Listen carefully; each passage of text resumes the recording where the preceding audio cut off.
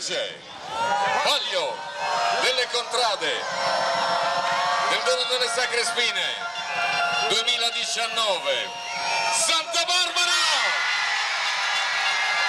Al secondo posto Tre Santi.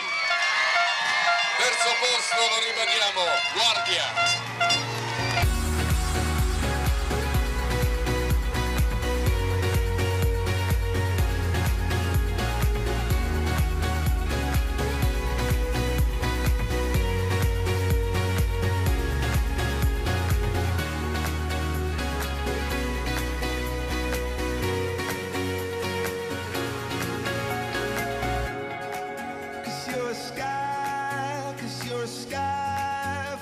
stars. I wanna die in your arms. Oh, oh. Cause you get lighter the more it gets dark.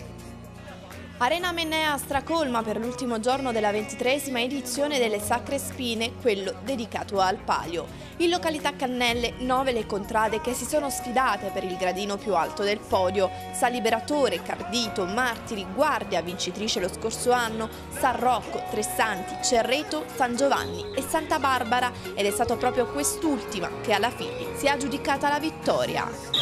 Partiti, forza, abbiamo bisogno di voi, forza!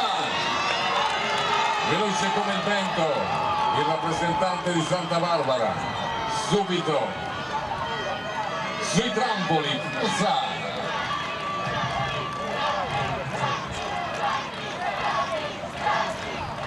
Lui è stato velocissimo, vediamo come se la cava il secondo, ci siamo, bene, si corre i sacchi, velocissimi, non vi sento,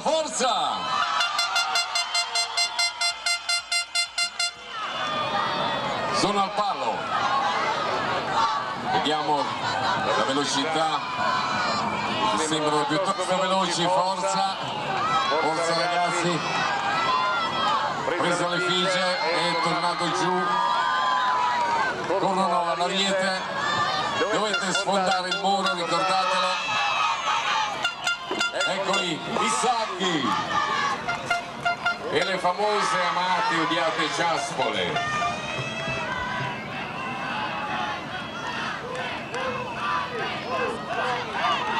Hanno preso un buon ritmo, forza! Gli amici di Santa Barbara. Terminato. Bravi, bravi ragazzi. Una tre giorni che come sempre ha regalato ad Ariano tanto spettacolo ed emozione, non solo dal punto di vista religioso ma anche culturale. I 300 figuranti che hanno interpretato la corte medievale al seguito del re Carlo I d'Angiò hanno contribuito alla riuscita della rievocazione del famoso dono delle due spine che il sovrano fece alla città del Tricolle. Il pubblico poi, anche ieri sera, è stato la cornice perfetta per un evento su cui per quest'anno cala il sipario, ma che si è riconfermato punta di diamante dell'estate arianese. Il grande successo eh, non poteva essere altrimenti, quest'anno festeggiando il 750 anniversario, evento importante per la città di Ariano, quindi abbiamo cercato di dare il massimo sia ai cittadini arianesi e sia ai turisti che sono venuti accorsi da tutta Italia. Diciamo sicuramente il momento più emozionante non è altro che il dono delle Sacre Spine perché quello è il momento più importante per il popolo arianese.